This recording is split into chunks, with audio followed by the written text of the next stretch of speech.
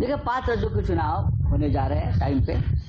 अच्छी बात है, उसमें से तीन राज्यों में तो पाँच साल पहले इंडिया यानी कांग्रेस जीत गई थी। इस बार सभी राज्यों में इंडिया अलायंस जीत जाएगा। चाहे मध्य प्रदेश हो, चाहे राजस्थान हो और तेलंगाना बोनस है। आप देख लीजिए, तेलंगाना में भी कांग्रेस जीत रही है। भारतीय जनता पार्टी को 10 सीटें भी तेलंगाना में नहीं मिल रही। लेकिन मेरा इलेक्शन कमीशन से एक अपील है पाँच राज्यों की चुनाव की तारीख आप डिक्लेयर कर रहे हो तो मुंबई महानगर पालिका दो साल से चुनाव के लिए तरस रही है यहाँ की जनता।